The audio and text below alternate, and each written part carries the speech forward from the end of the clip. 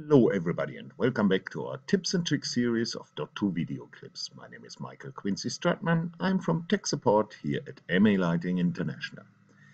We are in our little series about the clone command and in our first video clip about this we cloned color presets. Mm, I did it not very specific. I just cloned from six spots onto four auras, which are wash lights. So does this make sense? Ah, not. But this was the most asked question, so we give it a first fast shot. Now we should look a little bit into the details of the clone command, just a little bit. Don't make it too complicated. The first clip we used a macro called clone single preset type. These are the preset types and we cloned color information. Now we have a special case as well. We cloned from spots or from this fixture type to a totally different one. You will not run into any difficulties if you just expand your show. You have six spots and you need two, six, four more. No problem with that.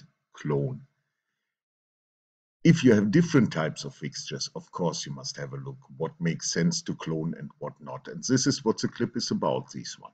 You see, we've got dimmers in both of these different fixture types. So that could make sense. We have positioning system. Pan tilt makes sense to clone. Gobo doesn't really make sense, ahaha, because we have auras which are wash lights. We cloned already the RGB values, so pure color mix values, makes sense. And so on. You really have to compare what makes sense if you clone from one fixture type to a different one. This is what I want to mention. And you see my little auras are in front of my six spots. So it depends also, especially when we talk about position preset, it you should have a look what makes sense and what not. What I want to show you in this clip is the command clone itself, and I want to show you not to do it with all lights. Because let's go back to color. These are our color presets, and let's watch the values. So I went back with my show file before we cloned in the last clip, so we haven't cloned anything yet. You can see this, this preset is available only for these spots. Okay, guys, do it. And now we have a look. These values are the same anyway. So I could have said clone only from one spot to these four. So this works as well. If we watch positions now, stage front, which is available only for the spots, but we maybe want to make it available for the auras as well. You see, these are the same values as well. And on top, we haven't given a pan value yet, so yeah, simply straight down. Make them bright. Audience as well, just we added tilt. So this makes sense to clone. This makes sense to clone. When it comes to spread values, you can see I spread it them out we should have a look. And this is what we want to do in this clip. These lights are in front of the others, but the positions are similar. So I want to use the clone command now, but I don't start at one. First of all, we've got six lights as source and four lights as a target. But I choose them a little bit more clever, so I ch will choose them now from two to five and not from one to six because these positions are similar. So how do I get there? I just clean my programmer. It, you don't need to do it, but it makes more sense to have a cleanup console.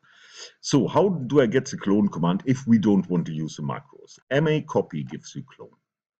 Clone fixture 2 through 5, these ones.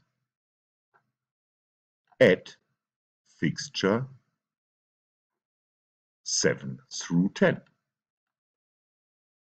If we now say please, it would do it through the whole console, over all executors and so on. So we have to limit this command, clone fixture 2 through 5 at fixture 7 through 10, if we talk about this preset or more presets.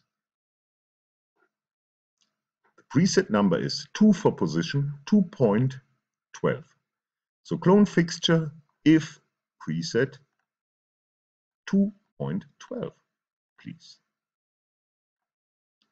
Now you're going to be asked, clone one pro object. Yes, that's true. It's one preset. Cancel. Low Prio merge. Things that are already set for these slides. Should they be overwritten or not? Yes. I don't care. So I say merge. Totally overwritten. Fine. Now we make the test again. Who of you can do this? All of them. Okay, guys.